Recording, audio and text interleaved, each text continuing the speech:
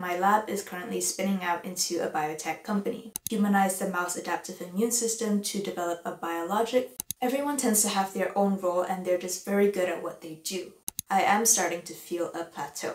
Most 90 to 95% of the people that they're hiring are all people that they already knew Hello everyone, welcome to my channel. My name is Vy and I'm currently working as a research assistant in genetics and stem cells at the University of Cambridge. Nine months ago, I posted a video on what it's like working as a research assistant in academia. Since then, some things have changed and so have my opinions. So I thought I'd give an update on how my lab spinout project has impacted me in terms of my day-to-day -day life in the lab, learning about the process of an academic lab spinning out into a biotech company, and dealing with colleagues. I also wanted to touch on some of the things that have essentially stayed the same, and in general just how my thoughts and opinions have developed over the past year. So let's start with a little bit of background about my lab. For confidentiality reasons, I will not be sharing the name of my lab, but what I can say is that I'm currently working on a project to humanize the mouse adaptive immune system to develop a biologic for therapeutic use in cancer immunotherapy. It is a relatively big project involving approximately 20 people, which is quite large for an academic lab. Personally, I'm working on genetically engineering large constructs called called bacterial artificial chromosomes.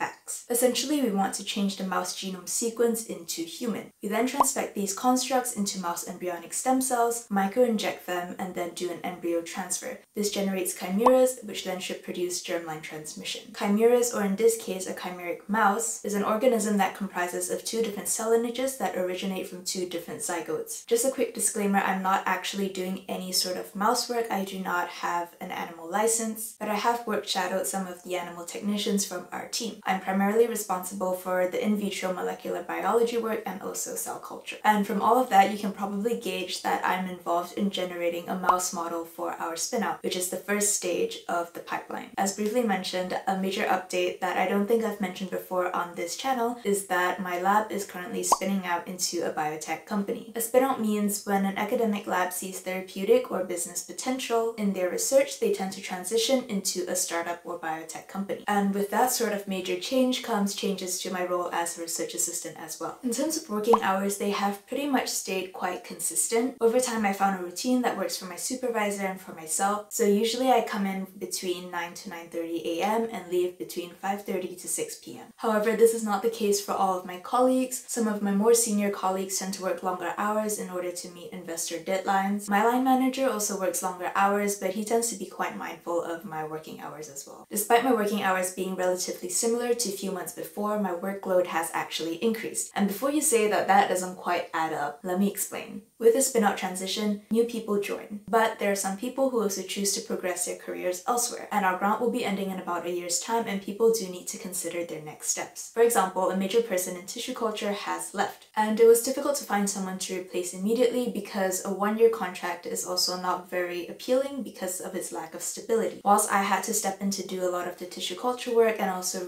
on tissue culture reagents, it was an opportunity for me to learn how to culture embryonic stem cells. It's a responsibility that I otherwise wouldn't have had if someone hadn't had left. In a bigger team and especially in a biotech company, everyone tends to have their own role and they're just very good at what they do. You very seldom branch off into other groups. Although I very much like my colleague who left, it did create opportunities for growth in my role, which was also great for my CV. So with more work, how am I still working the same number of hours? After my six month probation period where I was trained in a bunch of basic techniques like PCR, cell culture, cloning, recombineering, etc., I pretty much learned most techniques that I use frequently right now. So now what usually happens is that my supervisor tells me what needs to be done and he kind of just leaves me to it but of course I update him on a daily basis. But all in all, there's just far less micromanagement. I grew confident in techniques because I've just done them so many times time. Through that, I've also found ways to be more efficient and I also make less technical errors. All in all, I'm just able to get more work done in a shorter period of time. For example, it usually takes me about a whole afternoon to complete 800 PCR samples, but now it only takes me approximately one and a half to two hours. I also have a better understanding of my project scope, I understand abbreviations better, and because I also start to understand the purpose of each experiment, I'm able to foresee the next steps. In terms of my daily experiments, a lot of it has actually essentially stayed the same. Some of the key experiments I do involve PCR genotyping, maintaining mouse embryonic stem cells and feeder cells, cloning, plasmid preparation, and analyzing sequencing data. Whilst I have definitely learned a lot in my first few months and even first year here, I am starting to feel a plateau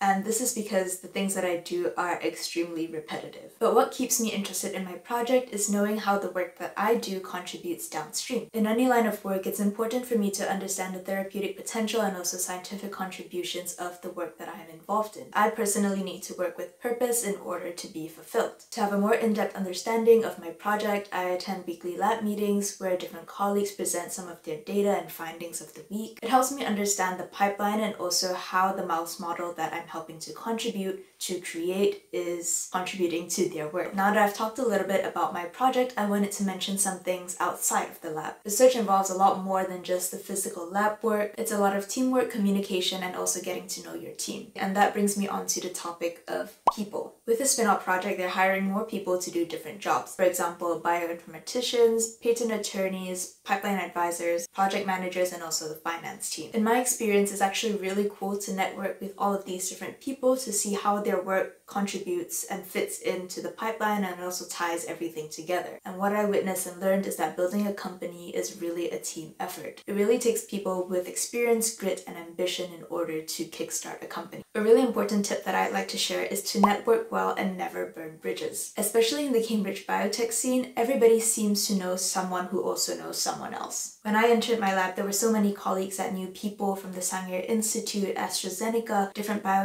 companies in Cambridge, Cancer Research UK, and also so much more. Word travels around pretty fast, so if a colleague has had a career transition, people will likely know if they had a salary raise from the new company that they've joined. If there's a new construction or even a lab group disbanding, people know instantly because they want to secure a lab space because there are very limited lab spaces currently in the Cambridge market. Something I also noticed about my lab spin out hiring process is that almost 90 to 95% of the people that they're hiring are all people that they already knew prior. For a startup, I can see how this makes sense because it is a safer option. It is a lot of hassle to hire somebody new, find out that they're terrible, and then try to fire them. Even if you do decide to have a career change or move to a completely different country, if you're staying in a relatively similar field, never burn bridges. You never know who you might bump to in the future, and sometimes all it takes is a positive recommendation for you to land a new job. But sometimes it's also all it takes for a negative word for you to end your career. With that being said, I am considering making a video about workplace etiquette in a research setting and how that differs to sort of a more corporate setting. If that's something that you're interested in, or there's something in this video that I mentioned that you'd like me to elaborate on, please just let me know in the comment section below and I'll definitely keep that in mind. And reflecting on my past year year and a bit working as a research assistant, there is one key thing that I actually learned about myself. And I thought that I'd share it here because we're all about honesty. So I usually have lunch with my colleagues and most of them are 10, 20, 30 years older than me. They normally talk about the news, new scientific discoveries, housing market, their children, and topics that I'm not normally used to engaging with. The first few months were a bit overwhelming for me because I just didn't really know what they were talking about and whilst I felt like I've learned a lot, I also felt small. I felt like I had nothing to contribute to the conversation and that made me overthink and go down a rabbit hole. I wanted to prove to these really really experienced people that I deserve this job. Something that I realized was that I actually determine my worth a lot based on my quality of work.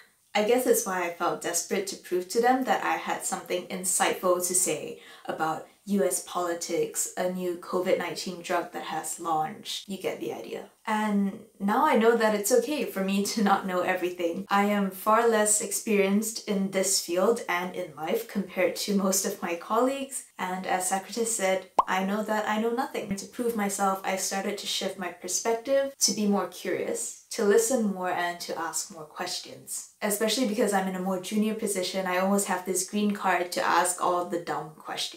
And more often than not, no one's actually paying attention to how much I contribute to a conversation so here's just a reminder to myself and maybe to some of you who are just recently starting a job to give yourself some grace because you've made it this far and you deserve a pat on the back. If there's something specific that you'd like me to talk more about in another video, please leave that in the comment section below. I recently also made an Instagram account called Biomed with Vy, so feel free to message me there or follow me there for more short form content. That's it for this video. Thank you so much for watching and I'll see you in the next one. Bye!